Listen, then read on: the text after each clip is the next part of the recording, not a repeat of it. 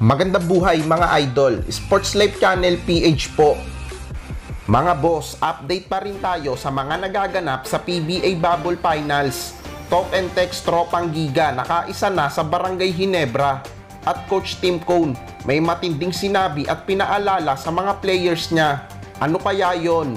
Yan ang mga pag-uusapan natin ngayon mga boss, pero bago yan, Huwag niyong kalimutang mag-like at mag-subscribe sa ating channel. I-click nyo na rin ang notification bell para lagi kayong updated sa mga sport news na malulupit.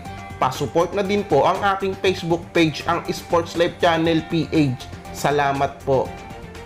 Eto mga boss, talk and text tropang giga. Tinambakan ng Barangay Hinebra noong Game 3 ng kanilang Best of 7 Final Series.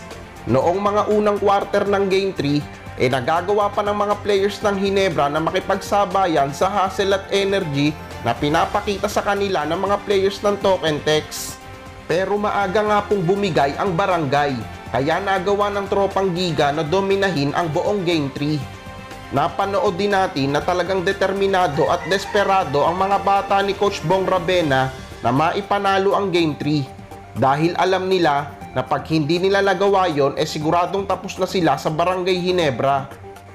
Katulad nga ng mga sinasabi ko sa inyo noong mga nakaraang video ko, eh ang kulang lang talaga sa token text eh yung suporta ni Troy Rosario na noong Game 3 nga, eh ipinaramdam niya na yung kanyang presensya sa serye na yon.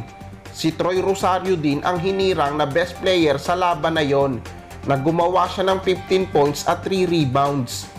Pero para sa akin, complete team effort ang pinakita ng Token Text kaya sila nanalo noong Game 3. Isang malaking factor din kaya nanalo ang Token Text kagabi ay yung pag-focus nila sa mga advantage nila, lalo na sa ilalim. Makailang beses din nating nakita na namumuwersa at nangangalabaw na sa ilalim ang frontline nila, lalo na si Rosario. Ilang beses nating nakita na pinostihan niya yung mas maliit sa kanya na si Aljon Mariano. Para naman sa Barangay Hinebra, eh hindi kasi maganda ang nilaro ng mga game changer nila na sila Stanley Pringle at si Scotty Thompson. Napakalayo nga po ang iniscore kagabi ni Stanley Pringle sa ina-average niya ngayon sa bubble, lalo na nitong playoffs. Napansin ko lang mga boss, sa mga talo ng Barangay Hinebra, lalo na nitong playoffs, eh hindi na baling hindi maganda ang laruin ng mga ibang superstar nila. Wag lang talaga ma-off night si Stanley Pringle. Dahil sa malamang, eh natatalo ang Barangay Hinebra pag nangyayari yon. Hindi pa nga rin po nakakapaglaro para sa tropang giga si Bobby Ray Parks Jr. dahil sa injury nito. Pero kahit wala pa rin si Ray Parks Jr., eh nagawa nilang makaisa sa Barangay Hinebra. Credit sa mga veterano nila lalo na noong third quarter na dumidikit na ang Barangay Hinebra na sila yung nag-take over ng laro kaya hindi nakahabol ang Hinebra. Sigurado din natataas ang kumpiyansa ng tropang giga dahil sa pagkapanalo nila noong Game 3 na kahit wala yung the best scorer nila na si Bobby Ray Parks Jr. e nagawa nilang makaisa sa Barangay Hinebra.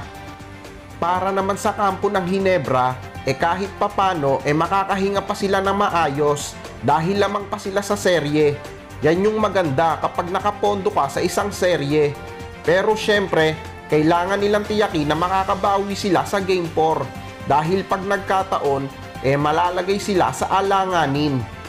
Meron ding matinding sinabi at pinaalala si Coach Tim Cone sa mga players niya na naandoon daw sila sa finals para hindi lang ipanalo ang isang laro, kundi ang isang buong serye. Ang gusto sigurong iparating ni Coach Tim Cone sa mga players niya, eh kahit nanalo na sila ng dalawang sunod, eh hindi pa rin sapat yon dahil kailangan nilang maipanalo ang buong serye para makuha nila ang kampyonato. Gusto rin siguro ni Coach Tim Cone na ipabatid sa mga players niya na kaya niya sinabi yon eh wag muna dapat silang magpakumpiyansa kahit lamang pa sila sa serye dahil hindi pa nila hawak ang tropeyo. Tama naman si Coach Tim Kun doon mga boss dahil lumalaban at pumapalag pa ang tropang giga kahit wala sa kanila yung the best scorer nila. Siguradong matinding adjustment ang gagawin ng Hinebra sa Game 4 lalo na sa mga mismatch na na-overcome sa kanila ng token text noong Game 3. kilala pa naman sa pag adjust itong si Coach Tim Cone. At bibihira din itong matalo ng dalawang sunod sa isang serye, lalo na sa finals. Kaabang-abang talaga yan mga boss. At isa pang aabangan natin kung makakapaglaro na ba uli sa game po si Bobby Ray Parks Jr. Yan mga boss ang update natin ngayon sa nagaganap na PBA Bubble Finals. Bago tayo magtapos, shoutout muna kay Boss Mel Avila. Shoutout din po kay Boss Amo Marlu. Shoutout din po kay Boss Ronel Bansuela. Kay Boss William Pabalate. Shoutout din po kay Boss Tomas Asares at sa Asares